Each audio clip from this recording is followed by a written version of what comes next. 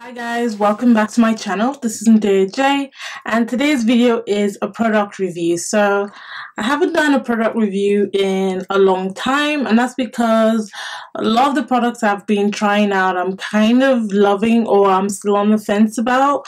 So I've not really been compelled to do a product review. However, however, today I'll be doing a product review on the um, e.l.f. HD Mattifying Cream Foundation oil free so now this foundation is um, obviously advertised as oil free and that's what really made me gra gravitate towards it and because I have um, combination to oily skin uh, predominantly oily skin and so um, usually find it difficult finding a mattifying foundation or a foundation that's oil free that obviously will help uh, stay all day and still look flawless and things like that and kind of like hold back the natural oils that I produce my face.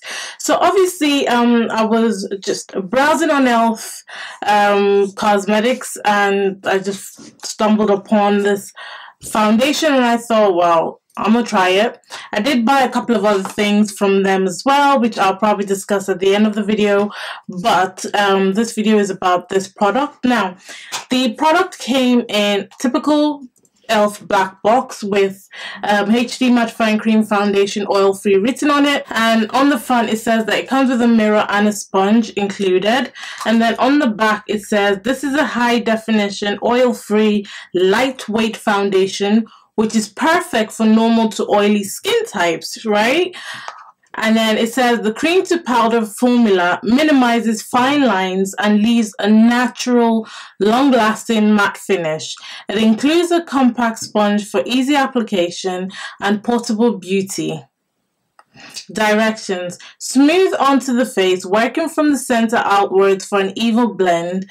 Reapply for buildable coverage. So when I saw this, I was like, yes, Elf, yes, come through, come through, drugstore.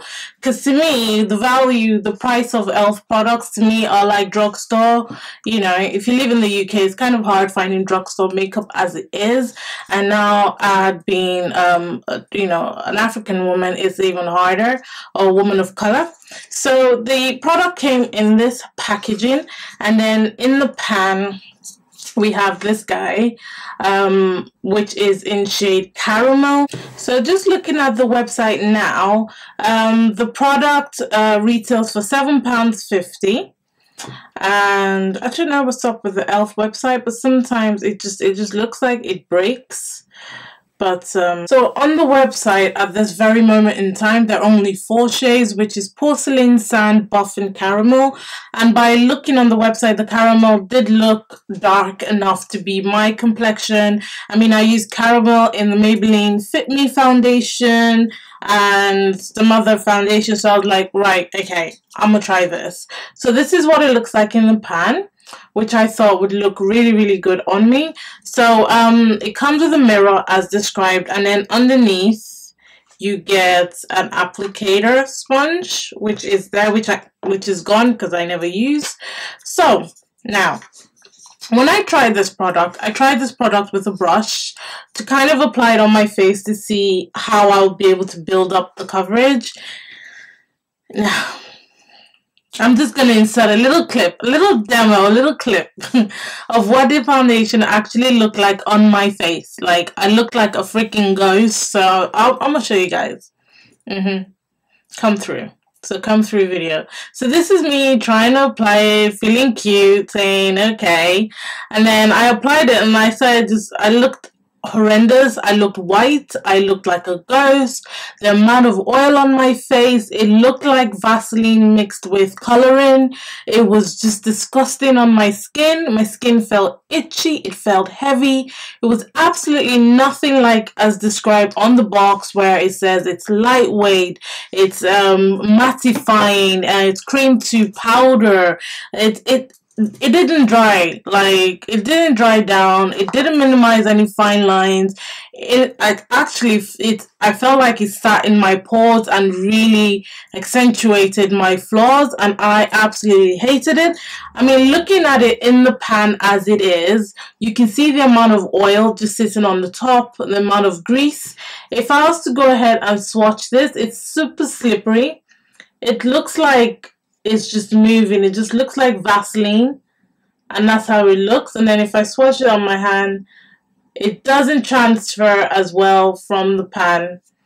Now, this is what it is swatched and this is what it looks like in the pan. Absolutely, absolutely ridiculous. Ridiculous.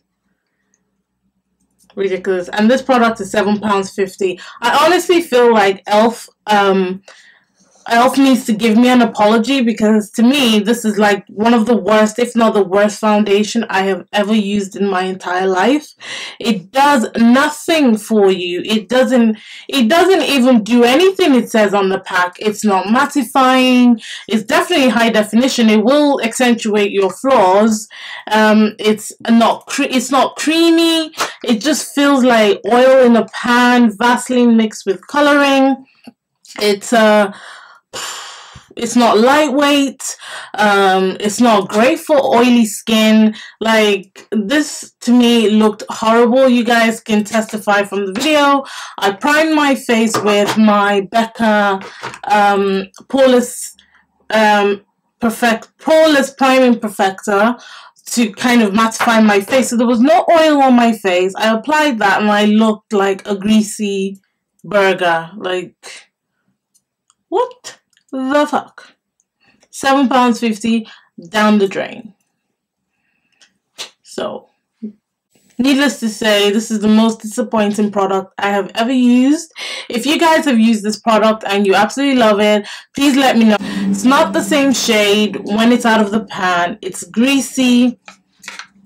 It's a waste of money. Seven pounds fifty down the drain. I have absolutely hated like ridiculous. So, Elf, you need to you need to fix this mess because I feel really cheated, really disappointed, and really offended by this product. Not only by the shade, but the actual product. Having said that, I did go ahead and buy their finishing powder in dark deep which is quite a nice dark shade. And I use this to contour my face and that just gives like the natural bronzy color. Now this is a great product. I do highly recommend this. It comes with a sponge and that to me is bomb. So if you guys are in it for a powder, a finishing powder, definitely you can get your hands on this. I know it comes in other shades as well. Um, some of the other e.l.f. products that I love aside from the brushes, I absolutely love the gel um, eyeliner in black, which is great. Um, Obviously, the wipes, you guys know that I use the wipes all the time. They're fantastic. The two sprays, the Illuminate Mist Set and the Matte Magic Mist and Set are fantastic as well. Wow, another product that I absolutely love, but I think they've discontinued it because I haven't been able to see it on the website, is the um, Brow Brush. Now, this is the Tame and Treat Brow um, Brush, which I use for my eyebrows which are really really great. And this one is in the dark shade but I haven't seen it on the website of late so I'm thinking maybe it's been discontinued. Now these are the kind of products that elf should not discontinue. They should do products like this. Another product that I've been loving from elf is the mascara primer. Now this primer is really really good for treating your um, lashes. Now I wear a lot of false lashes so I do depend on this a lot to give my lash some protection and just to help it um, stay nourished and to grow. Um, what other e.l.f. products am I actually loving? Wow. Now, I really, really love the e.l.f. HD Lifting Concealer. Now, I got this in shade medium, and I like to mix it with my LA Girl Pro Conceal because sometimes I can I feel like it's a little bit yellow, especially when I'm using like um, a, a neutral or cool tone foundation. I really want a cool tone kind of concealer to it. So I have been mixing this with my LA Girl Pro Conceal and it's fantastic. I've got it on today. I did get the e.l.f. Um, highlighting powder, the HD highlighting powder in Bronze Glow which looks like this and I absolutely love it. I think it's super super super pretty. It gives you that natural like gentle glow if you don't really really want to be seen from out of space. This is more down to earth, more homegrown. So I really, really love how subtle this is. So you can get your hands on this if you want to try something from e.l.f. But yeah, that's it really from my review and little rant. Um, aside from that um, foundation, I haven't seen anything else from e.l.f. Um, aside from the eye base um, that I, I don't actually like. Um, the rest of the other products that I have from e.l.f. are really, really good.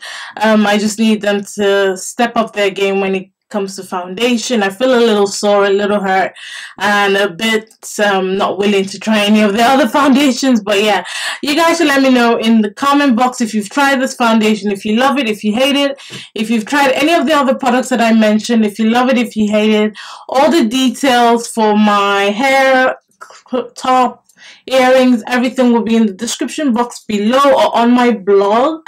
So let me know what you guys think. Do you love the new hair? What do you think? Let me know. You know. and I'll catch you guys in my next video.